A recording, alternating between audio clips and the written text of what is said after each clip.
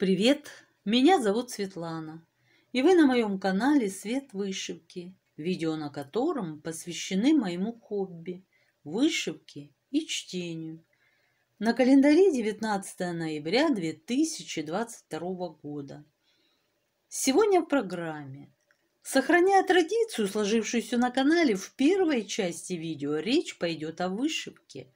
Я представлю вашему вниманию итоги за прошедшую неделю. А во второй части видео наш светский клуб вновь любезно распахнет свои двери. Сегодня, друзья, мы совершим прогулку по старинным замкам, в которых обитают призраки, регулярно являющие себя миру. Тому не нужно далеко ходить, у кого черт за плечами. Чур Духи, привидения, призраки – все эти понятия пришли к нам из глубокой древности. Существуют ли они на самом деле? Сегодня нас ждут загадочные истории, приключившиеся с разными людьми в разное время. А вдоль дороги мертвые с косами стоять. И тишина. Барехня. Сейчас же, друзья, я предлагаю перейти к первому пункту нашей программы, к вышивке. И, начну, и начать по обыкновению я хочу с дополнительного процесса. Вот такой в итоге должна быть моя работа. В начале недели работа выглядела вот так, а вот так она выглядит сейчас, 19 ноября. Мы уже, друзья, можем лицезреть святого Николая – это сюжет рождественский, поэтому и обстановку праздничную, новогоднюю, рождественскую я попыталась организовать вот в виде фонарика. Отчетливо просматривается мешок с подарками и куклы поверх него. На этом сюжете, друзья, мне очень нравится растяжка цвета. Это не просто вот, допустим, борода, белая борода – обработанная бэком. Здесь задействовано несколько цветов для создания натуральных оттенков и мягкого перехода между ними. И этот прием мы наблюдаем не только в бороде, это и на лице Николая, тоже несколько цветов задействовано, и на одежде. Напомню, в схеме задействовано 43 цвета, в вышивке наряду с полным крестиком используется 1 четвертая крестика, бэкстич в одно и два сложения нити.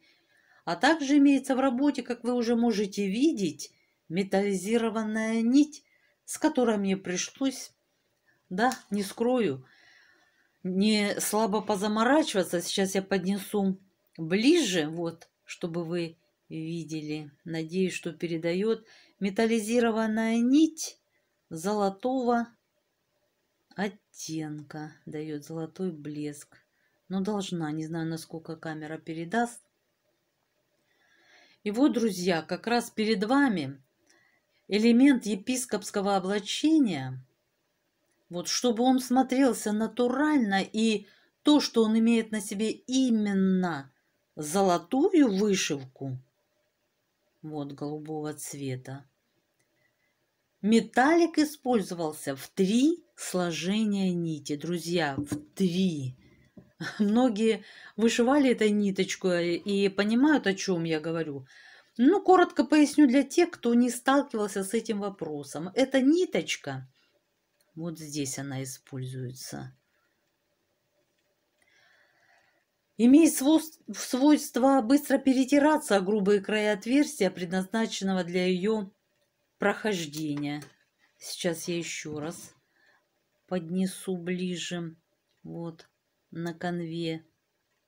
Здесь, конечно, не стоит использовать ни длиной в метр или 50 сантиметров, так как это, на мой взгляд, неоправданно увеличит отходы, вышедшие из строя нити.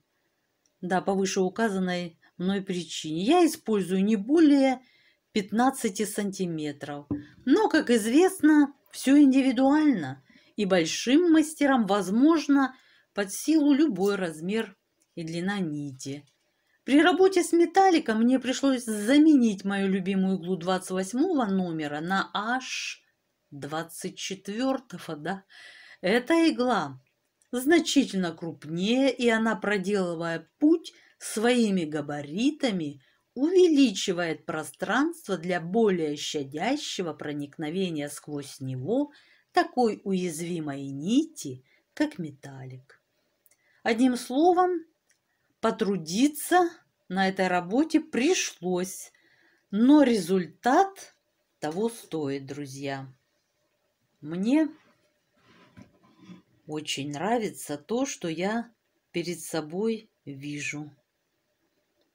Бесподобно. Вот руку Николай распростер. Я так понимаю, он будет благословлять деток и дарить подарки, конечно.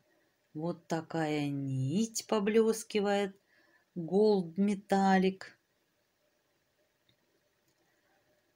Да, бэкстича, конечно, много. Я решила сразу не откладывать его на потом.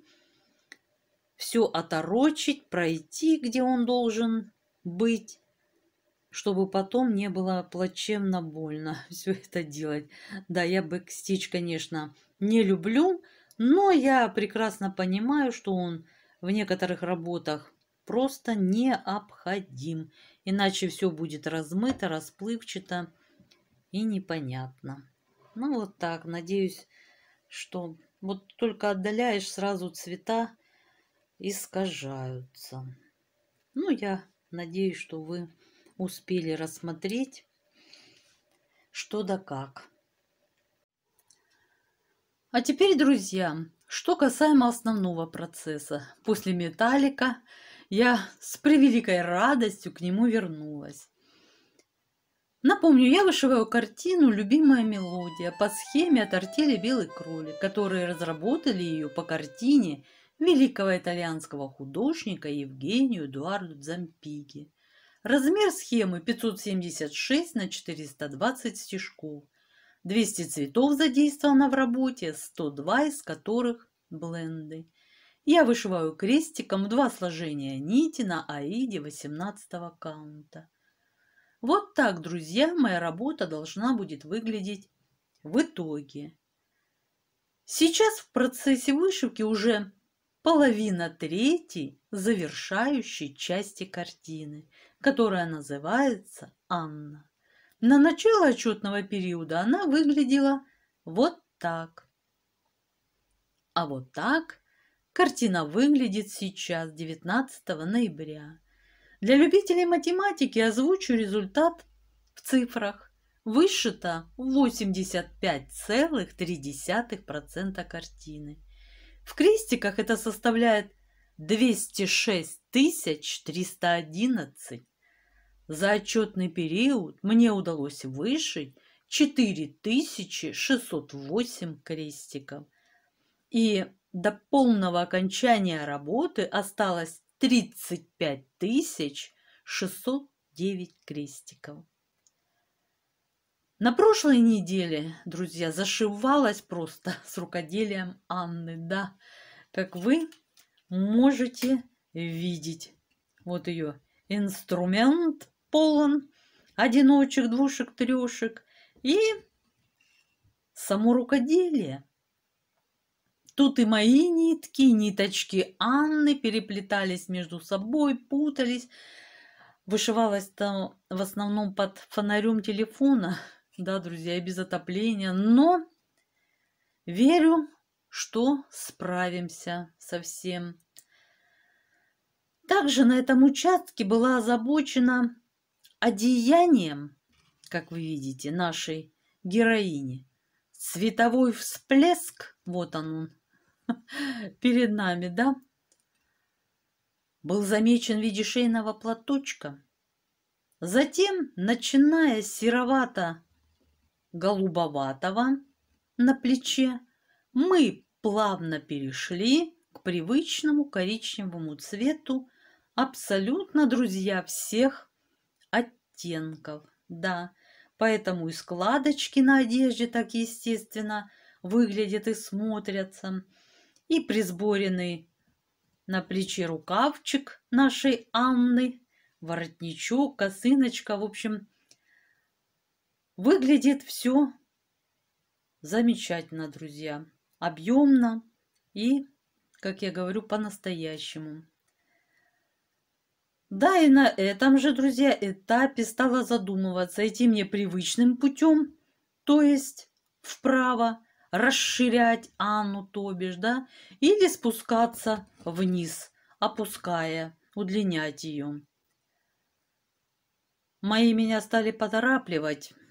Так ведь хочется, чтоб поскорее. Скоро только кошки родятся. Да, согласна со Стапом Ибрагимовичем, так как в спешке были замечены пропуски. Они не критичны, но надо быть повнимательнее, конечно, потому что когда их находишь внезапно там-там, особенно это на светлых участках было, приходит, приходилось э, зашивать, искать, что это за символ, возвращаться. Вот, ну ничего, самозакрепляющийся крестик в помощь и все, идем дальше. Но надо быть, повторюсь, повнимательнее, да. Эмоционально, друзья, этот персонаж вышивается очень приятно. Такая подруга-рукодельница, улыбаясь, любуется своим Джузеппе. Пока мы с ней под фонариком рукодельничаем, мой котик, прижавшись к ногам и мурлыча, греет нас. А Джузеппе тихо наигрывает нам свою любимую мелодию. О, слышите? Скрипнула дверь. Это наш клуб. Намекает, что давно уже ждет нас. Вот, друзья, мы и подошли с вами ко второй части видео. Настраиваемся на нужный лад и отправляемся на полчасика в места знаменитых мистических явлений. Духи, привидения, призраки. Все эти понятия пришли к нам из глубокой древности. Существуют ли они на самом деле? И если да, то как объяснить это феноменальное явление? Ответы на эти вопросы, видимо, лучше всего искать в Великобритании – ведь именно ей принадлежит первенство по числу и разнообразию бесплотных пришельцев из потустороннего мира. Англия считается классической страной привидений, а Лондон смело можно назвать столицей призраков. Веками будоражат воображение англичан духи шутов и королей, рыцарей и вельмож, прекрасных дам и романтических влюбленных число исторических достопримечательностей, которые обязательно посещают в Лондоне туристы, входит знаменитый замок Тауэр. До 1820 года он был главной тюрьмой британского королевства для высокопоставленных особ. За прошедшие столетия здесь нашло свою смерть бесчисленное множество людей. Поэтому неудивительно, что Именно в его мрачных казематах обитает немало привидений, которые регулярно являют себя миру. В 1860 году лондонский журнал «Мозаика» опубликовал загадочную историю одного из призраков Тауэра. Ее рассказал незадолго до своей смерти хранитель фамильных королевских драгоценностей Лентал Свифт. Отважился он на это спустя 43 года после происшествия. До этого начальство не разрешало придавать огласке подробности случившегося. А дело было так. В 1814 году Свифта назначили хранителем королевских драгоценностей. В те времена сокровища находились в Тауэре. Там же проживал и хранитель со своей семьей. Однажды субботним вечером 1817 года все семейство ужинало в гостиной хранилище. Двери уже были закрыты на ночь, а окна задрапированы тяжелыми плотными шторами. В комнате царил полумрак, так как горели только две свечи. Лентал подал сидевшей напротив него жене бокал вина с водой. Она поднесла его к губам и вдруг неожиданно застыла. Глядя за спину мужа, женщина воскликнула «Боже мой, что это?» Свифт резко обернулся и увидел перед собой чрезвычайно худого старика с растрепанными волосами и бородой. Больше всего поражали его глаза. Это был взгляд сумасшедшего.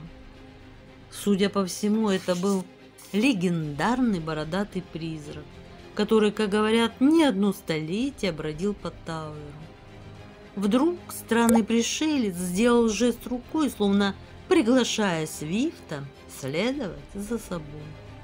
Свояченица и сын удивленно смотрели на хранителя. Они ничего не видели и не понимали, что происходит.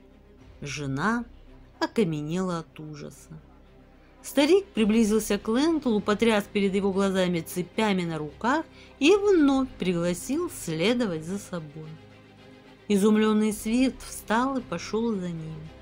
Медленно передвигая ноги и с трудом неся свои оковы, призрак вышел во двор. Он привел хранителя в угол маленького садика и вдруг внезапно исчез. Свифт хорошо запомнил это место – на следующее утро он рассказал о происшедшем смотрителю Тауэра. Тот дал распоряжение рабочим выкопать яму в указанном месте.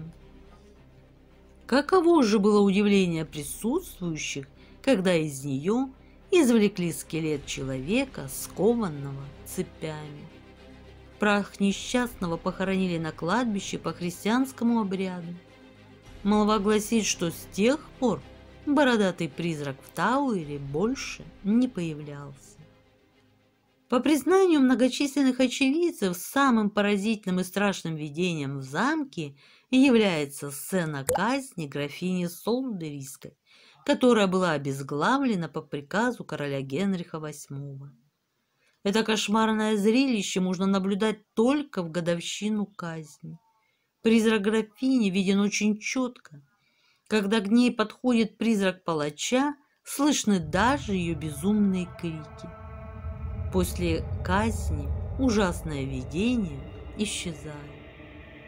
Большинство привидений появляется в кровавой башне Таура, и это неудивительно. Тут были убиты двое маленьких принцев, король Эдуард V и его младший брат Ричард, герцог Йоркский. Призраки братьев много раз видели именно здесь. Они бродят в зловещей тишине рука об руку в поисках вечного покоя. В сумеречных коридорах Тауэра периодически появляется около полутора десятков призраков. Пожалуй, самым знаменитым из них является дух Анны Болейн, второй жены короля Генриха VIII. Как известно, в 1536 году она была обвинена в супружеской измене и кровосмешении и приговорена к смерти через отсечение головы. В те времена в Англии для этого использовали секиру, но король решил испытать французский метод казни, при котором головы рубили мечом, и первый такой опыт произвести над собственной супругой. Для этого был доставлен специальный палач, хорошо знающий свое дело.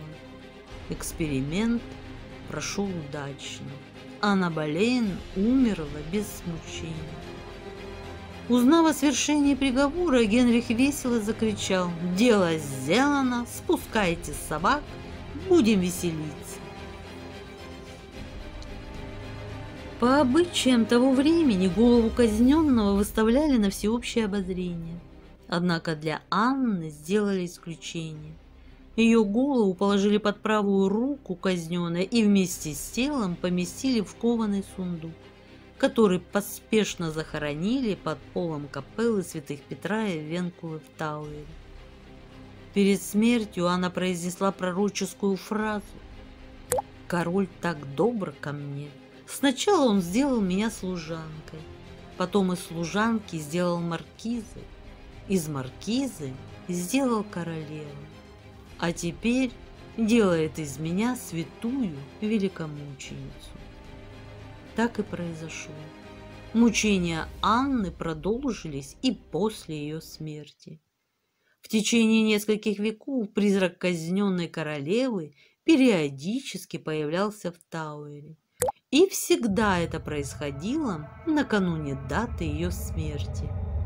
Очевидцы рассказывали, что призрак мерцал белесым светом.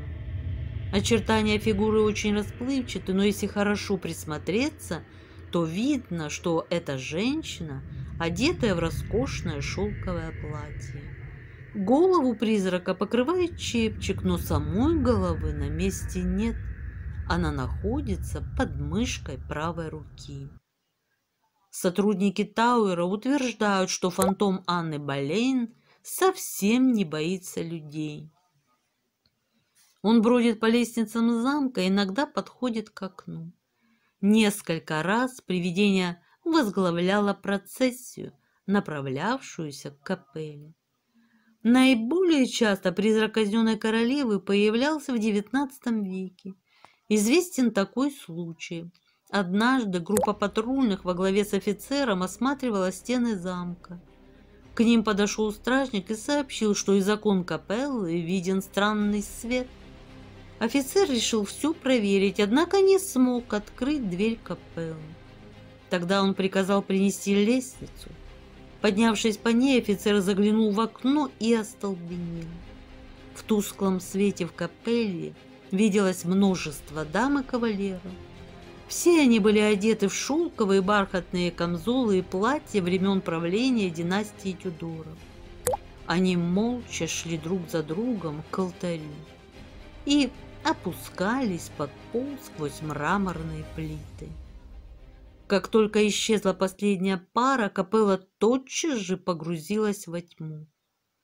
Офицер хорошо знал по настенным росписям и портретам всех венценосных особ и готов был поклясться, что в последней фигуре узнал Анну Болейн. Прошло немного времени, пол в капелле взломали.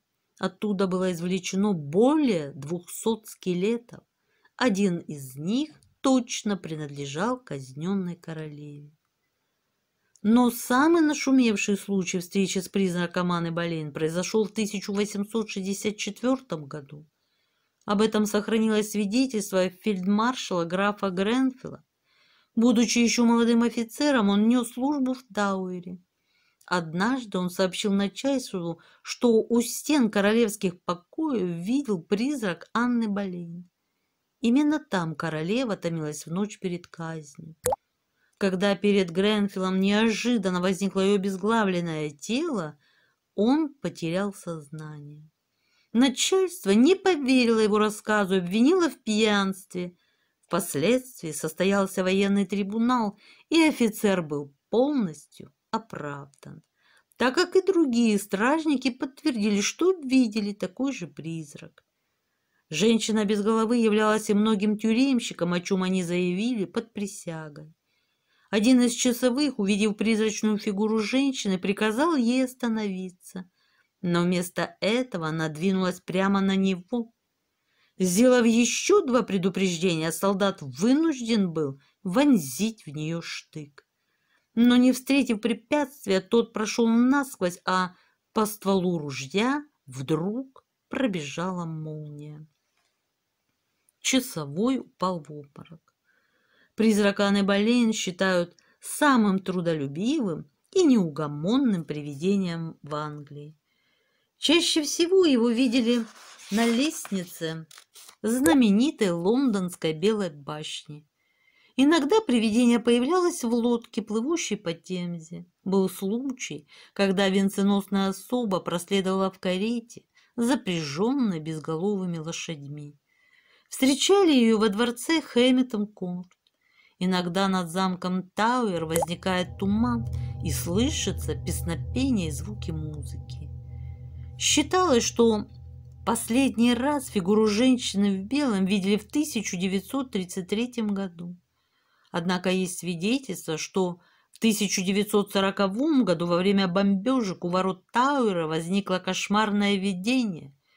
Охранники замка наблюдали, как из тумана появились четыре мужские фигуры, которые спешно тащили куда-то обезглавленное тело женщины. Есть в Лондоне и его окрестностях и немало других легендарных зданий, история которых связана с привидениями. Вот одна из этих историй. Когда старая миссис Рейнольдс покупала прекрасный особняк в пригороде столицы, ее удивила довольно низкая цена. Старушка тогда решила, что ей просто необыкновенно повезло.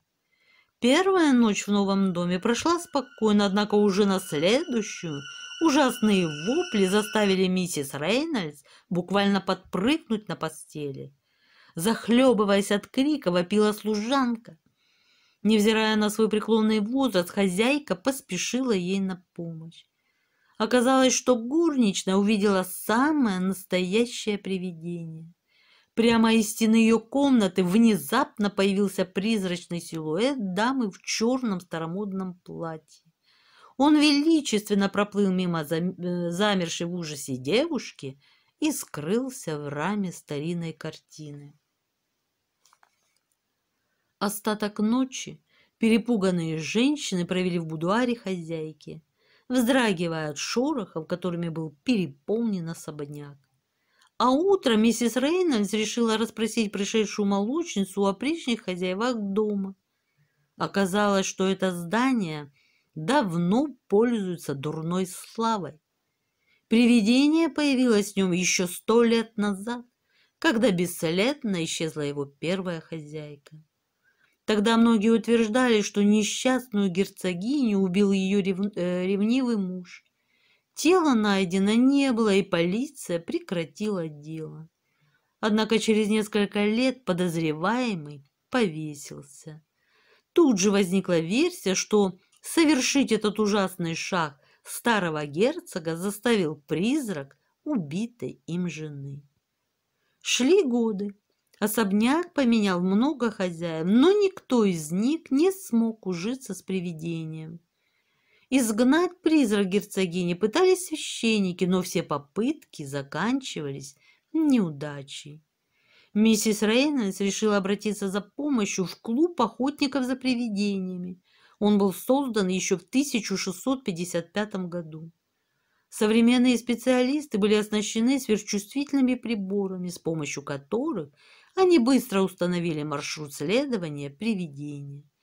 Он обрывался у загадочной картины в комнате горничной. Картину сняли и, простучав стену за ней, обнаружили нишу, в которой оказался женский скелет. Было очевидно, что несчастную герцогиню просто замуровали. Так была раскрыта тайна исчезновения первой хозяйки особняка. Останки герцогини захоронили в семейном склепе. После этого привидение перестало появляться. Не менее знаменит своей мрачной репутацией в столице и дом на Беркли-сквер. По мнению лондонцев, именно здесь поселились самые страшные привидения. Это призраки ребенка, забитого до смерти в детской комнате, и молодой женщины, которая, спасаясь от домогательств родного дяди, выбросилась из окна. Третий призрак – жертва собственной глупости. При жизни он был моряком. Однажды парень заявил, что не боится загадочных обитателей этого дома и поспорил с приятелями, что проведет здесь ночь. Однако на следующее утро он был найден мертвым. Волосы его посидели, а лицо исказил ужас. С тех пор его привидение тоже поселилось здесь. Тем не менее, на протяжении многих лет дом как магнит притягивал все новых и новых смельчаков. Однако все попытки переночевать с призраками заканчивались трагически. Одни экспериментаторы погибли, другие – нашли свой последний приют в психиатрической лечебнице. Недавно в Лондоне было получено еще одно подтверждение того, что выходцы с того света время от времени наведываются в наш мир. На этот раз призрак появился в старинном королевском дворце Хэмптон-Корт и был снят беспристрастными видеокамерами. Во время ночного обхода охранники обратили внимание на то, что двери пожарного выхода в экскурсионной части помещения открыты. Это было поразительно, ведь вечером они сами их заперли. Охранники подумали, что во дворец проник вор и решили проверить видеозаписи с камер наблюдения. И тут они опешили. Пленка зафиксировала фигуру человека в старинной одежде. Утром, просмотрев пленку, гиды дворца подтвердили, что костюм на ночном посетителе был действительно старинный. Такие есть только в музеях. О том, что это призрак, свидетельствовало и то, что когда он шел по дворцу, двери перед ним раскрывались сами собой. Сейчас трудно сказать, с какой целью этот выходец того света посетил Хэмптон-Корт. Возможно, он решил проверить, что там изменилось с XVI века, когда был построен дворец. Призраки венценосных особ также не забывают свои владения. В разные годы множество людей утверждали, что видели в окне над парадным входом в Кессингтонский дворец лицо короля Георга II. Сохранилось свидетельство о том, что незадолго до своей смерти – он часто смотрел в окно на флюгер. Его очень волновало направление ветра, ибо от этого зависело, как быстро корабли смогут доставить ему важные депеши из Германии. Но прочитать их король так и не успел. 25 октября 1760 года он скончался. И до сих пор, как говорят очевидцы, бледное печальное лицо Георга II нет-нет, да и появится в окне, чтобы взглянуть на флюгер. С мистическим страхом британцы относятся к своему столичному метро. Они не решаются оставаться в одиночестве на пустынных станциях, потому что всерьез верят, что в их подземке давно обосновались призраки. Многие лондонцы уверяют, что хотя бы один раз – сталкивались там с привидениями. Одно из них появилось в метро в 50-х годах прошлого века. Это был призрак некоего Уильяма Терриса, который бродил во фраке и перчатках на станции Конвент-Гарден. Легенда гласит, что именно здесь, поблизости от театра Адельфи, его зарезали в 1897 году. Есть у этого призрака особое пристрастие. Он частенько заглядывает в комнату отдыха персонала метро. А еще ищет свою любимую булочную кондитерскую, которая раньше находилась на месте станции. По платформе станции Олдвич, которая была построена на месте старого театра, часто прогуливается привидение некой безымянной актрисы. Оно неожиданно появляется на рельсах, пугая служащих метро. Репортеры британской «Санди Экспресс» прошли по следам призракам лондонского метро и поведали читателям немало интересного. К примеру, на станции Банк витает привидение Сары Уайтхед с женщиной в черном. Она бродит в поисках своего брата Роберта. Он работал кассиром в банке и был казнен в 1811 году за подделку денег. С тех пор Сестра в течение сорока лет встречала его у дверей банка. Продолжает она ждать его. И теперь на станции Фарингтон пассажиры в ожидании поезда иногда содрогаются от раздающихся из темноты туннеля душераздирающихся воплей. Это кричит дух 13-летней девочки Энн убитой в 1758 году хозяином шляпной мастерской в которой она работала. Лондонские охотники за привидениями уверены, что духи появляются на станциях, построенных на месте домов, с которыми связаны трагические истории. После строительства метрополитена призраки переселились в него. Помимо столицы Великобритании существует множество легендарных мест на периферии, которые также известны появлением призраков. Самым знаменитым в мире домом с привидениями считается вилла священника Барли, расположенная между Эссексом и Суфолком. По ночам в этом доме слышались шаги и шум, который исходил от хлопающих дверей, а из коридоров – пение призрака. Четырнадцать детей сэра Реверенда часто видели стоявшего перед их кроватями старомодно одетого мужчину. Не менее двадцати человек встречали в саду призрак монахини. Здесь же в 1929 году наблюдался случай полтергейста. По воздуху летали ключи и медальоны, мелкие камни, а на стенах виллы и листах бумаги неожиданно появлялись надписи. «На помощь, Марианна!» Так звали жену Реверенда Болла. Упоминается это имя и в словах песни.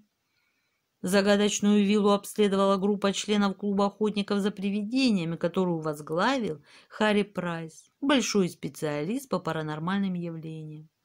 Они начали с того, что понизили в доме температуру до 10 градусов и тут же неожиданно обрушились полки с тяжелыми книгами. А когда изгнать духа попытался монах-бенедиктинец, на него посыпался град камней. Затем один из участников охоты за привидениями сообщил, что слышал голос того света. Выяснилось, что он принадлежал монашке Марии Лайры, которая рассказала о том, как ее подговорили покинуть монастырь. Марию хотели выдать замуж за аристократа Борли Минора. Его поместье находилось на том самом месте, где позже была построена вилла священника Барли. В мае 1667 года в этом самом доме монашка-отступница была задушена. В 1943 году на вилле проводились раскопки. В подвале на глубине одного метра под землей – был обнаружен скелет женщины. Около останков лежал крестик и образок. Исследователи были поражены находком. Труп принадлежал несчастной Марии Лайре. На юго-востоке Англии есть маленькая деревня под названием Плакли. Местные жители уже много лет называют ее не иначе, как деревушка призраков. Это место выделяется огромным количеством самых разнообразных привидений. В связи с этим ученые даже выдвинули версию о том, что местное население время от времени подвергается непонятному массовому психозу. Однако это не подтвердилось. Высказывалось и такое интересное предположение. Местный воздух наделен таинственной способностью воздействовать на зрение людей. Так или иначе, но встречи с призраками в Плакле происходят регулярно. Естественно, в таком месте из поколения в поколение передается множество легенд и преданий. Местные жители поговаривают, что на краю деревни живет призрак убитого разбойника. Там же часто видят призрачную карету, запряженную четверкой лошадей. На мосту через речку иногда появляется привидение цыганки, которая стоит в задумчивости с дымящейся трубкой во рту. Когда-то эту женщину сожгли при таинственных обстоятельствах. Перед грозой нередко появляется призрак жившего тут мельника. А на северной окраине деревушки не раз видели привидения полковника и школьного учителя, повесившихся в лесу. В 1952 году пожар уничтожил центральную усадьбу местных помещиков Дейрингов. С тех пор жители деревни неоднократно встречали призрак женщины в белом, который облюбовал библиотеку. Она принадлежала к знаменитому семейству. Список привидений деревни Плакли можно продолжать до бесконечности. Споры о происхождении того или иного призрака местные жители ведут годами, но в одном они едины. С некоторых пор Именно их дерев... деревня не по... по непонятным причинам стала местом массового паломничества духов умерших. В свое время повышенный интерес к паранормальным явлениям проявлял знаменитый писатель Артур Конан Дойл. Последние годы своей жизни он посвятил спиритизму и был убежден в существовании загробной жизни. А ведь его знаменитый герой Шерлок Холмс, объясняя свой дедуктивный метод, говорил, если мы имеем дело с каким-то необыкновенным явлением и хотим его объяснить, то надо прежде всего отбросить все невероятные его толкования и тогда останется лишь одно – правдивое и вполне реальное. Да, ни больше, ни меньше. Вот так, друзья. И подошло к концу наше путешествие. Пишите комментарии, мне очень интересно ваше мнение. Ставьте лайки, если тема была интересна. Я желаю всем мира, здоровья и всяческого благополучия. Спасибо за просмотр, а на сегодня все. Пока-пока.